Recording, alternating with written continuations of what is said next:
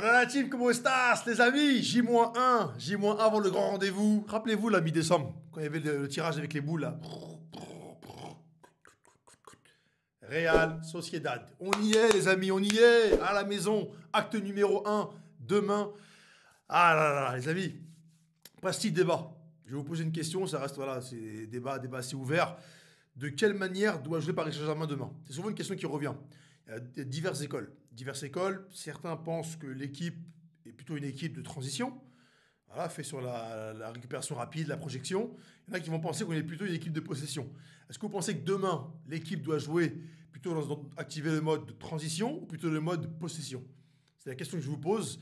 Moi, personnellement, je vais vous donner mon avis rapidement, de manière très succincte. Je pense que les on est à la maison.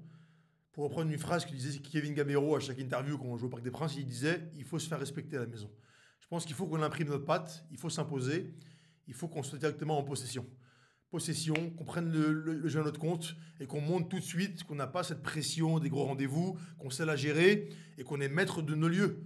Avec tout le respect qu'on doit à l'adversaire, ne prenons surtout pas la Real Sociedad de haut. Grand respect envers l'adversaire. Par contre, il faut s'imposer, les gars. Il faut montrer tout de suite notre patte, montrer qu'on est à la maison, montrer que c'est nous qui régulons le tempo. Et moi, je pense qu'on doit plutôt activer le mode possession de main.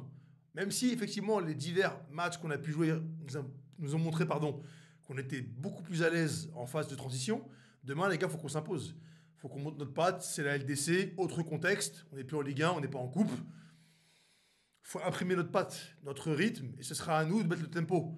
Il y aura des phases où ça va accélérer, des phases où ça va ralentir. C'est à nous de contrôler, de mettre le tempo et de donner, voilà, de donner un petit peu le, la note au match. Il y aura des phases où ça va aller vite, d'autres où ça va, ça va aller moins vite, des moments où il va falloir qu'on frappe de loin, de pas trop loin, des moments où il va falloir qu'on centre. Euh, il, faut, il faudra, les amis, qu'on ait en tout cas une palette très large dans, dans notre jeu. Parce que souvent, quand même, je trouve qu'on a un jeu assez stéréotypé. C'est souvent Dembélé qui percute, Barcola aussi qui avait la percussion. Mais souvent, hormis ça, on a du mal un peu à se renouveler et à surprendre l'adversaire. Demain, les gars, pareil, moi j'attends beaucoup du milieu de terrain demain, les gars. J'espère que ça va cogner, que ce soit Vitinha, Ruiz ou Garté, on ne sait pas qui jouera. Il faut que ça cogne au milieu de terrain. Il va falloir que ça cogne au milieu de terrain, aux 15, 20, 25 mètres. On l'a fait un peu au début de saison. Là, maintenant, je trouve que les derniers matchs, on l'a pas trop fait. Il faut qu'il y ait de la propale demain dans, le jeu. Proposer des choses. Proposer. Jeu court, jeu long, des frappes, des centres, corner. Voilà, mais avec une base de possession.